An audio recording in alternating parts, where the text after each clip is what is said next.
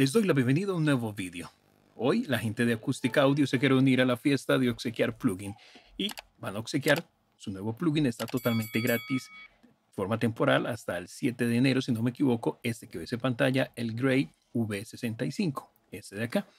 Para hacerte con él es muy sencillo, te voy a explicar el proceso, pero antes de, voy a mostrarte entonces de qué se trata. Nos dicen ellos que es un legendario compresor americano basado en VSA, totalmente gratis. Para que las voces brillen, podemos conseguir sonidos percusivos impactantes, va a mejorar la cohesión, tanto en la gama baja, ofrecer ese carácter clásico y vintage con una distorsión mínima, pues es lo que promete. Tenemos aún 17 días, 3 horas, 42 minutos y los segundos descontando para hacerte con él. Es muy sencillo, llegas acá al sitio web de acústica, te dejo enlace en la descripción. Aquí vas a girar simplemente la rueda. Te van a decir de nuevo que el plugin está gratuito hasta enero 7 del 24, que no se convertirá en un plugin comercial después de que termine la fecha. Giras y te va a salir claramente plugin gratuito. Aquí podrías ganarte un chorizo con Enrique, por ejemplo, entre otros tantos premios más, pero siempre te va a salir el plugin gratuito y te van a generar un serial. Con ese serial entonces te vas a ir a tu asistente de acústica audio, el Aquarius. Y en Aquarius te vas a ir entonces acá al piñón, te vas a ir a ajustes y en ajustes vas a irte a activación, ¿ok? Y aquí lo que haces es pegar el serial que te van a generar, lo aplicas y te dice que el código ha sido satisfactoriamente aplicado, le das OK, inmediatamente te va a direccionar entonces a la ventana principal donde tendrás acceso al plugin. Desde aquí eliges entonces qué versión quieres instalar. En mi caso voy a instalar la VST 3 de 64 bits, voy a darle instalar. Esperamos que se haga el proceso de instalación voilà, a disfrutar de esta increíble herramienta. Y aprovecho entonces, aparte de decirles que estaba gratuito y de compartirles el proceso de instalación, vamos a hacer una revisión de este plugin en este momento. Así que me saltaré ese pedacito, no verás la instalación completa, pero vamos directamente a la pantalla del DAO para que lo probemos en acción, lo que nos ofrece. Y pasemos acá a revisar un poco esa belleza que nos obsequia la gente de acústica audio, este Gray V65. Como les menciono, recrea entonces un clásico compresor americano basado en VSA, controlado por voltaje y esa es la interfaz de usuario del mismo. Allí la tengo bastante grande, claramente para poder visualizar yo acá mejor los controles y etiquetas y claramente también a ustedes se les va a facilitar, aunque yo suelo hacer un zoom, identificar aquellos controles. Inicialmente tenemos parte superior para cargar entonces preset, guardar los nuestros, hacer comparativa entre dos ajustes, podemos copiar entre esos dos estados, ajustes, desde aquí copias y desde aquí lo pegas. Desde Auction tendrás entonces información acerca del about del plugin, básicamente. Luego nos encontramos para ajustar un poco el tamaño. Acá tenemos, por default siempre viene a 1x, yo lo tengo en este caso a 1.5x. Imagínate a 2x cuál es el tamaño. Será útil para aquellos que tienen pantalla táctil para manipular sus controles con sus dedos más fácil. O si trabajas con portátil, a mayor escala, pues visualizas mejor controles y etiquetas, evidentemente. Luego tenemos acá los modos de operación en estéreo por default, pero podemos trabajarlo en modo mid, modo side, nada más los laterales, o el delta, que sería la diferencia entre lo procesado y no lo procesado. Por default, dejémoslo en estéreo. Desde acá paseamos entonces el accionar del mismo y luego desde acá podemos activar o desactivar el plugin. Desde aquí activamos el previo, el preamplificador y tenemos este modo ultra. Cuando lo activamos, lo que hacemos es que le damos a la etapa de preamplificador un trin adicional, una pegada adicional y acústica nos asegura que eso lo que hace es mejorar la saturación del preamplificador. Luego tenemos este pre-trim con el cual hacemos un refuerzo de contenido armónico al preamplificador directamente. Y este input trim es básicamente ganancia general a toda la señal de audio que pasa a través del plugin. Luego tenemos aquí para ajustar el umbral típico de todo compresor hasta menos 60 decibeles máximo para hacer atenuación. Luego tenemos ese control de compresión, el cual actúa como el típico control de relación o ratio de todo compresor. Junto a él tenemos las envolventes de tiempo, el ataque que no puede faltar desde un milisegundo máximo 15 y la liberación desde mínimo 5 milisegundos hasta máximo 1522 milisegundos. Y si queremos que en automático se ajusten esas dos envolventes, tanto ataque como liberación, conforme el material de audio que estemos procesando, simplemente activamos este botoncito de auto y él hará el proceso de ajuste, reproducimos el audio en automático, entonces se van a parametrizar. De hecho, puedes ver que muevo los controles y los valores que había establecido no van a cambiar, ¿ok? A no ser que desactive auto y pueda hacerlo de forma manual. Por acá tenemos oversampling hasta 16x, que no puede faltar para reducir ese fenómeno de, de, alias, por ejemplo. Aunque vas a tener mayor consumo de recursos, ten presente eso. Mientras mezclas, puedes trabajarlo a 1x. A la hora de exportar el proyecto, pues arriesgate hasta 16 u 8x. Luego tenemos la compensación de ganancia. En la medida que comprimimos, percibimos un descenso en la ganancia. Con eso recuperamos entonces un poco de volumen en el audio. Parte inferior tenemos esta pantalla, el display NIF, en donde podemos visualizar, por ejemplo, la relación de compresión que estamos aplicando. Puedes visualizar allí los cambios, pero también los niveles de entrada y salida, el efecto del umbral sobre el audio y algunos parámetros más en la medida que configuramos entonces el compresor.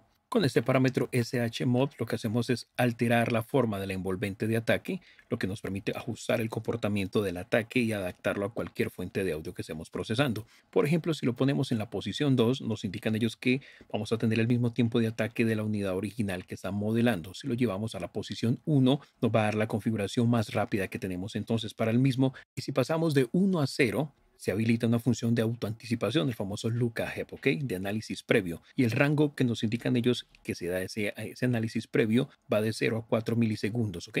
Valores por encima de 2, 3 y 4 específicamente, lo que harán es que se ralentice el tiempo de ataque bastante. Entonces experimenta con esto, puede ser muy útil quizás para procesar voces valores de 3 y 4. Junto a él tenemos el Sidechain Filter. Con este control podemos establecer la frecuencia de corte de un filtro de paso alto, de un polo específicamente, o sea que es bastante suave, que está insertado en la trayectoria de la cadena lateral.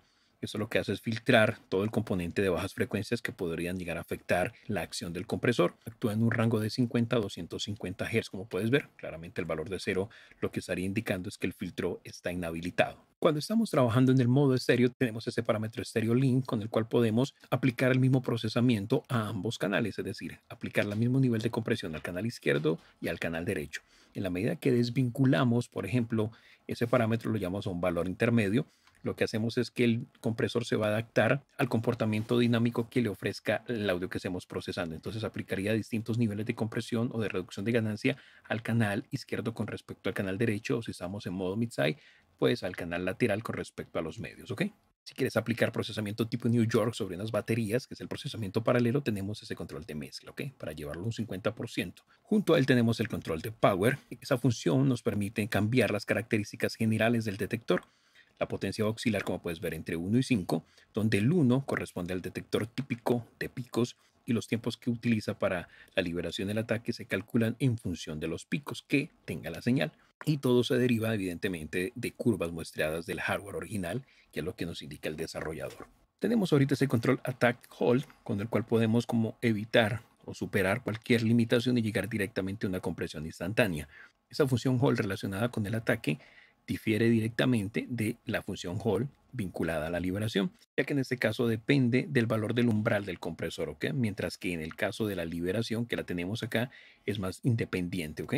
Una vez entonces que la amplitud de la señal de entrada exceda el umbral, la salida del circuito permanecerá en su valor durante un periodo de tiempo determinado con esos sostenidos que tenemos aquí nosotros. Desde aquí controlamos un poco los modos de operación, más centro, más laterales o en el caso canal LIR y por acá tenemos un control que se llama Morph, que es bastante interesante. Lo que hace exactamente es implementar un control de morphing bastante intuitivo, simplemente gíralo ya, que nos permite que cada uno de los elementos dinámicos que conforman entonces el plugin, en este caso un compresor, un limitador y un saturador, los utilicemos de forma separada. Podemos utilizar compresor, limitación o saturación. Manipular este control también hará que las curvas de ataque y de liberación también tengan claramente una transformación y se ajusten dependiendo del tipo de procesador que nosotros elijamos.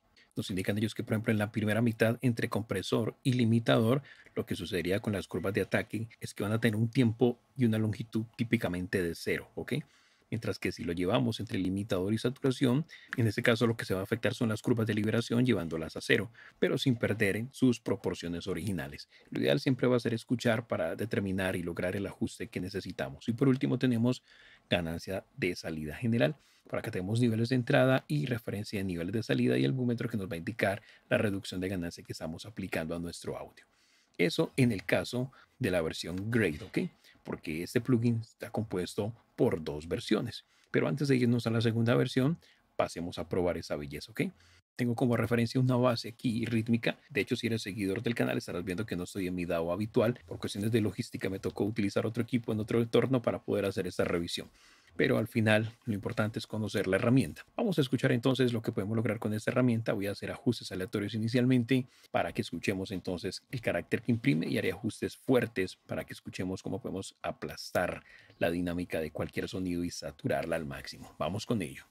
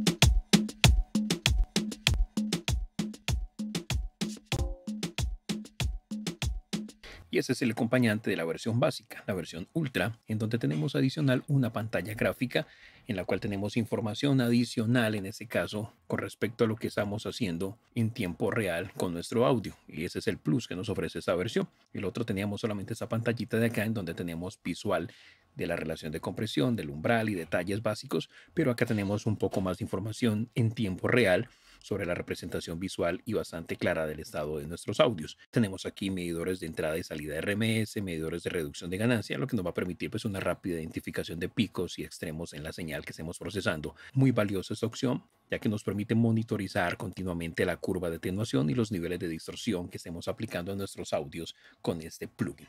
Eso sería como la diferencia más significativa. Pasemos a escuchar y a mirar haciendo ajustes aleatorios lo que estamos haciendo directamente sobre nuestros audios. ¿Ok? Vamos con ello.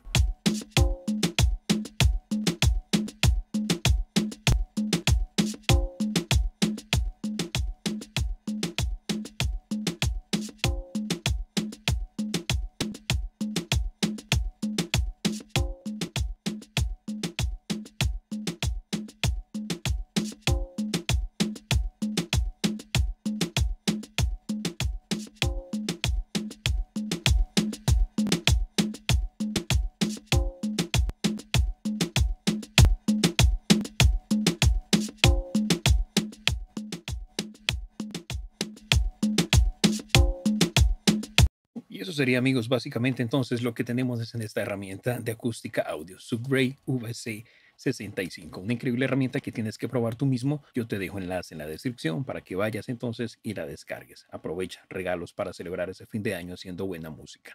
Yo con esto me despido, esperando que la información compartida en alguna medida te haya sido de utilidad. Si así lo fue, dalo a conocer con un like grandote. Comenta el video y compártelo. ¿Quieres apoyar el canal? Tienes a disposición el botón de gracias y el enlace a PayPal para tu donativo. Suscríbete al canal si aún no lo estás y activa la campana para que te notifique cuando llegue nuevo contenido. Y también te invito para que te suscribas a mi canal Sonidos Virtuales Pro. En el hablo de sintes, instrumentos virtuales, librerías, sampler, rompler y todo lo que necesitas para hacer música. Enlace también en la descripción. Y mantente aquí conectado porque se vienen más vídeos, más regalos y más sorpresas para ti. Hasta un próximo vídeo y bendiciones para vos.